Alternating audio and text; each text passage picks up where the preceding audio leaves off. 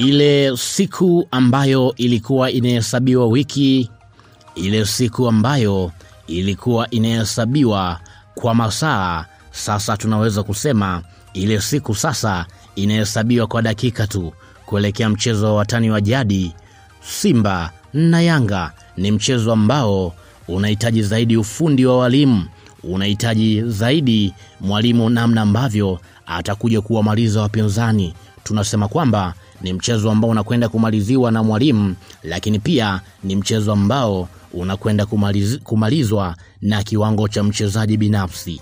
Ni mchezo mgumu, ni mchezo ambao haujawahi kuwa rahisi. Simba wakiwa na kumbukumbu, michezo minne iliyopita hawajaweza kushinda mbele ya Yanga. Kwa hiyo ni mchezo ambao wanahitaji ushindi. Kocha Zoran Mark ameweka wazi kwamba leo ni kufa na kupona. Anahitaji wachezaji wake wapambane, anahitaji wachezaji waonyeshe kile ambacho walicho nacho mguuni. Kwa upande wake mfumo aliyokuja nao ni mfumo wa nne tatu mbili moja. Au tunaweza kusema kwamba moja kwa moja ni e, tatu mbili e, tatu moja kutokana na namna ambavyo wachezaji wa mbele alivyowaweka kwenye kikosi cha Simba moja kwa moja. E, golini ni Beno Kakolanya. Tunafahamu pia ubora wa Beno Kakolanya. E, tunafahamu kile ambacho Mwenyezi Mungu amemjaria. Ni mchezaji mwenye ubora wa hali ya juu, ni mchezaji ambaye amekuwa na msaada pia kwenye kikosi cha Simba. Hivyo kama kawaida, Beno Kakolanya anaendelea kuaminiwa langoni. Wakati huo pia beki nambari mbili ni Israel Patrick Mwenda Isra. Majeruhi kwa upande wa Shomari Kapombe ndicho kitu pekee ambacho kinamweka kwenye kikosi bwana mdogo Israel Patrick Mwenda. Kwa sasa ni kama nimeshazoea hivi, kwa sababu kwenye michezo yote pia amepata nafasi. Kwa hiyo ni mchezo ambao anakwenda kuonyesha kwamba kuna kitu haswa ambacho alicho nacho na mashabiki pia waweze kumshuhudia. Wakati huo pia Mohamed Hussein Zimbwe Jeiara yupo e, nambari tatu. Mohamed Hussein tunafahamu pia ubora wake e, tunafahamu namna ambavyo amekuwa na msaada mkubwa kwenye kikosi cha Simba.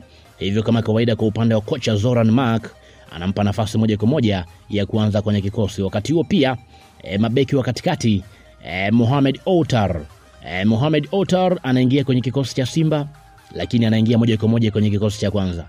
Ni ngumu sana kwa mchezaji mpya kuingia moja kwa moja kwenye kikosi cha kwanza, lakini kwa upande wa beki Mohamed Outara ameweza kufanikiwa hivyo kutokana na ubora ambao amekuwa akionyesha kwa upande wa kocha Zoran Mark. Hivyo moja kwa moja amempa nafasi kuonyesha kile ambacho alichonacho. Wakati huo pia Henok Inonga e, beki bora wa msimu uliopita wa NBC, lakini pia alikuwa na msaada mkubwa kwenye kikosi cha Simba.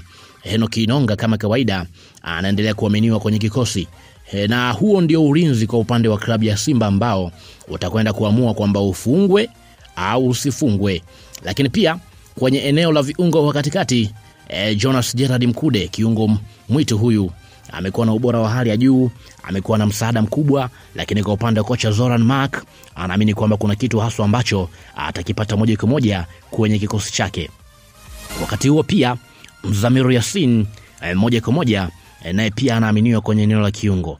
E, tunafahamu ubora wa Mzamiru Yasin ni kiungo punda ili jina la kiungo punda halijaja tu, ni kutokana na namna ambavyo amekuwa na msaada mkubwa kwenye kikosi cha klabu ya Simba. Wakati huo pia kiungo cha juu, yani kiungo mshambuliaji e, Kratos Chota Chama e, Kratos Chota Chama tunafahamu pia ubora wake, tunafahamu umahiri wake, tunafahamu msaada aliyokuwa nao kwenye kikosi, tunafahamu kwamba ni mchezaji ambaye akiwa akitoa msaada wa asilimia sabini basi Simba e, watapata mabao mengi zaidi kutokana na ubora ambao waliokuwa nao. Wakati huo pia Agustino Okra atakuwa akitokea winga ya kuria tunafahamu pia ni kiungo mwenye ubora wa hali ya juu, ni kiungo mwenye vitu, ni kiungo ambaye tayari amethibitisha kwamba yeye ni nani kutokana na namna ambavyo michezo yote amekuwa akicheza. Hivyo kwa upande wa kocha Zoran Mark ameona sasa ni wakati pia wa kumwendeleza kucheza kwenye eneo hilo, yaani kutokea pembeni.